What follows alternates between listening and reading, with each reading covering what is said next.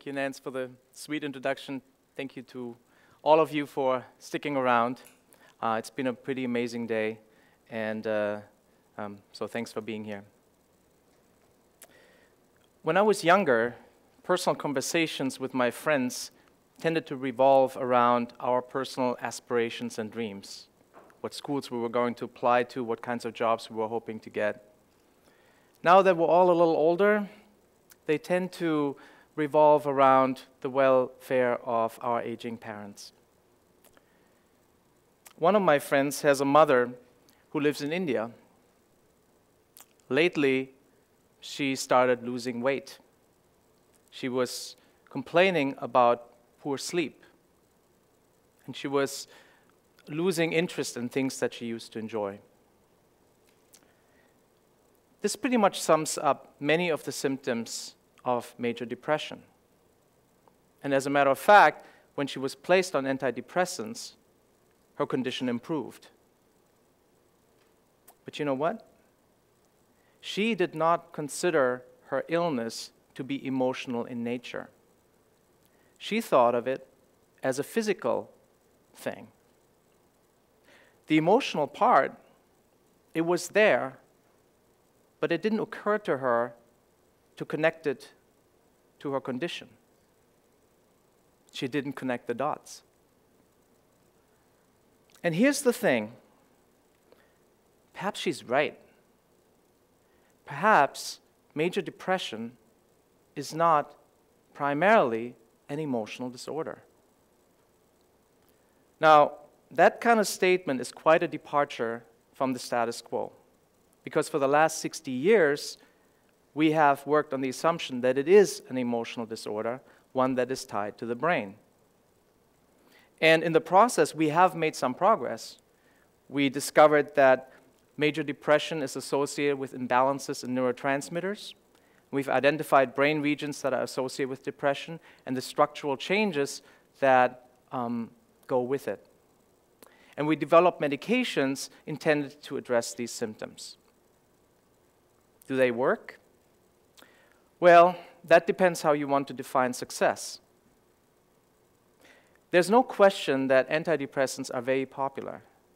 We consume a ton of medication. The Centers for Disease Control reported that in the period between 2005 and 2008, one in 10 individuals over the age of 12 was on antidepressants. That number is likely to be higher today. And in fact, in severe cases of depression, these drugs do provide relief. But critics have argued that for less severe cases of depression, these antidepressants are barely better than sugar pills.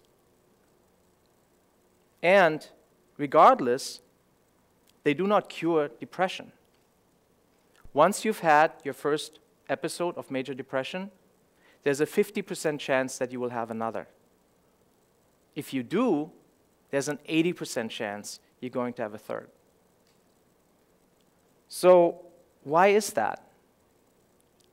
It's because we do not understand the underlying mechanisms that lead to these imbalances in neurotransmitters, that lead to these structural changes.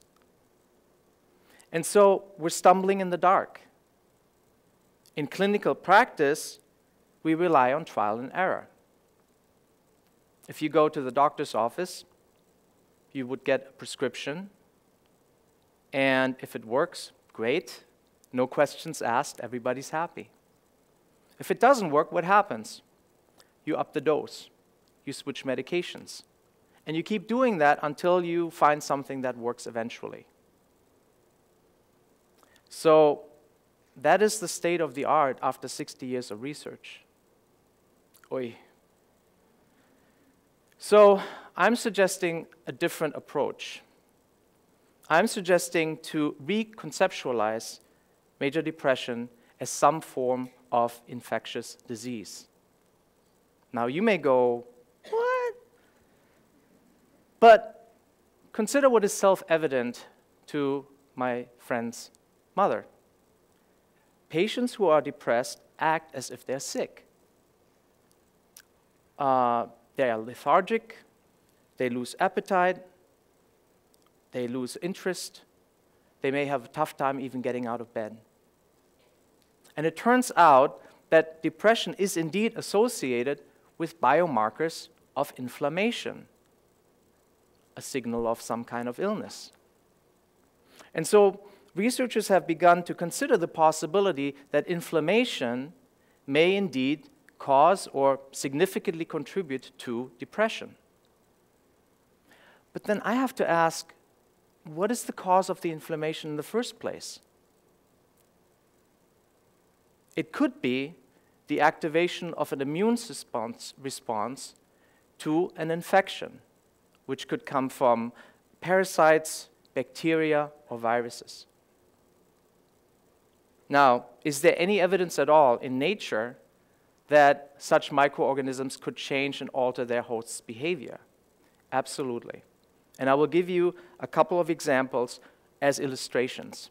I don't mean to imply that the illustrations I'll give you are the cause of depression, but they illustrate some of the mechanisms that Mother Nature has already figured out by which uh, the infected host's life and behavior can be altered. And then I will take this new way of looking at depression and explain to you how it informs and changes our way of thinking about the genetics of depression, which also has kind of run into a wall. And then I will close with what I hope will be a call to arms. So let me start with parasites. Let me start with the example, the story of the suicidal cricket. When a cricket becomes infected with a Gordian worm, that worm grows inside of it until it reaches sexual maturity. The problem for the worm is it can only mate in water, and the cricket isn't a water creature. So, what do you think happens? The cricket has its brain hijacked by the worm, alters its behavior, seeks out water, and jumps into it.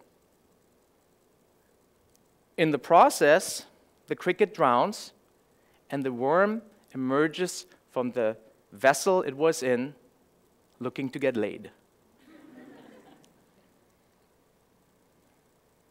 now, researchers have begun to look into the biochemistry of this remarkable behavioral phenomenon. And what they discovered is amazing. They discovered that the worm dispenses proteins into the cricket's head. And when they looked at the nature of these proteins, they realized these are proteins that are already understood to affect neurotransmission and brain development. Let me give you another example. This is the example of um, Toxoplasma gondii, or toxo for short. Toxo only mates inside the intestines of cats. And then it releases its eggs, and the eggs are excreted through feline feces into the environment. But Toxo now has a problem. How does the next generation of its, you know, how does its offspring make it into another cat? Right? It wants its offspring to get into another cat so it can grow happily ever after and mate again. Always comes back to sex, doesn't it? So, what does it do? Well, it figured out an ingenious method for moving its eggs into another cat.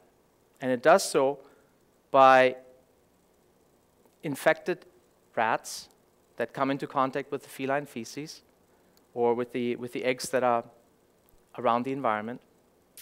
And when a rat becomes infected with toxo, it becomes sexually aroused and attracted to the scent of cat urine. Hey, I'm not judging, I'm just telling you. Okay? So, how does it do that?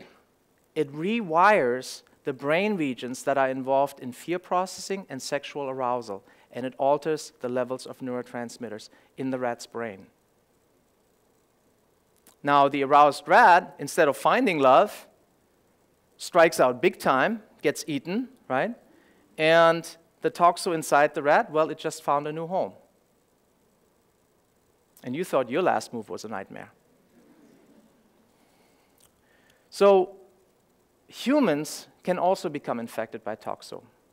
And as a matter of fact, the numbers are staggering.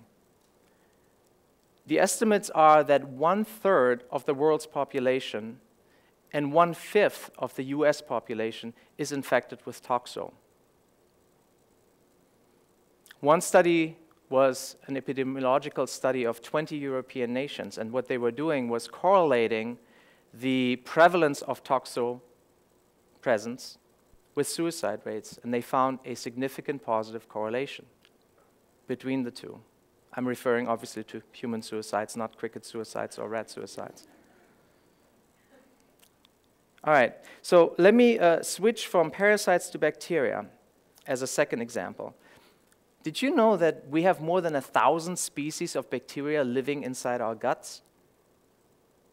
We actually need them because they help us process the foods we ingest. But they also seem to play a role in our emotional well being. Researchers have begun to look at mice to do some animal studies to get at the uh, underlying mechanisms. And these were mice that were specifically uh, engineered to be uh, free of any intestinal bacteria. So we're talking germ-free mice. Wouldn't you love to have those in your dorm room, right? Now, these mice are easily stressed when subjected to psychological stresses in the lab, but their stress response can become normalized when they are treated with common intestinal bacterial strains. And there's also a number of studies in humans that have begun to look at the role of probiotics, these you know, healthy uh, bacterial colonies, and reported that uh, you know, research participants uh, reported improvement in their mood and reduction in anxious and depressive symptoms. And one brain imaging study uh, reported that over the course of a four week diet, uh, probiotic diet, um, brain activation patterns changed significantly in these participants. So now, if bacteria can lift your mood, maybe there's others that can depress it. Or maybe sometimes, in some people, these good bacteria could mutate and basically become emotional pathogens. And maybe there's a difference between the intestinal bacterial composition of a healthy person compared to that of a depressed person. If that were the case, then maybe transferring the bacterial content of a healthy person and transplanting it into a um, depressed person might constitute some form of therapy. So I'm talking about fecal transplants. Gross! Right? But it's actually been done, not in depressed patients, it's been done in some cases of really difficult to treat diarrhea, and there it worked really well. So, you know, next time you see a, a depressed person, they tell you how shitty they feel, you know, maybe there's something to it. Let, me turn to, um, let me turn to viruses. Viruses are the most ubiquitous life form on Earth. They have many ways to invade our bodies. They can stay dormant for a long time until they're activated by some sort of external event, perhaps a stressful life event. And they can be passed across generations. These are all things that are consistent with what we know about depression. I'll give you one example here the Borna disease virus, or BDV. It infects farm animals and causes neurological symptoms in these animals. According to one study, it can also infect the human brain, and the likelihood of infection is greater in depressed individuals than it is in non depressed individuals. There was one very small clinical study that found that depressed patients who happened to be infected with Borna, uh, when they were treated for the, uh, for the virus, not only experienced uh, reduction in the biomarkers for the virus, but also reported uh, improvement in depressive symptoms. At the same time, this is a very controversial field because there's many studies um, that uh, failed to find any link between BDV and depression at all. but there's many other viruses to look at. And when you start thinking about the role that these microorganisms can play, you start thinking about the genetics of depression. Twin studies suggest that there should be genes that play a role in depression, but when we look for them, we have a tough time finding them. Why is that? Well, maybe we're looking at the wrong organism. Maybe we should be looking at the genomes of all of these microorganisms that we carry with us. And you know, the work so far has looked at the human genome, but you know what? It's not all human. Our genome isn't all human. Both parasites and viruses can insert their genetic material into ours. In fact, 8% of our DNA is believed to come from these alien sources. And that BDV virus I talked about before, it was recently discovered that segments of its DNA are in ours. So maybe the genes associated with depression lurk in these genomes of all of these microorganisms we carry in us, or maybe they lurk in spaces we haven't looked at before, like these, you know, foreign elements of DNA that are embedded in ours. So this is my thesis, that major depression could be a form of an infectious disease, which could be caused by parasitic, bacterial, or viral sources that could go undetected until activated by some event that once activated has the power and the mechanisms to alter our neurotransmission and rewire our brains. And that can be passed around from generation to generation, which could be the missing genetic piece that eluded us so far. Now, I can almost see the collective worry over this crowd going, um, I have this roommate, he's been bummed out lately. Am I going to catch depression from him? I don't think so. If that were the case, then 100% of the population would have it, and that's not the case. Right? So an infectious disease does not necessarily mean it's a contagious disease. So we can all have a communal sign of relief. We won't catch anything that way. All right? But by reconceptualizing depression as an infectious disease, we have a new approach to think about mechanisms and genetic targets. So this is my call to arms let's not settle for symptom reduction. Let's commit ourselves to finding a genuine cure. Let's aspire to that. Let us do that so that hopelessness, so much a feature of depression, may give way to hope after all. And in the language of my friend's mother, Shukriya. Thank you.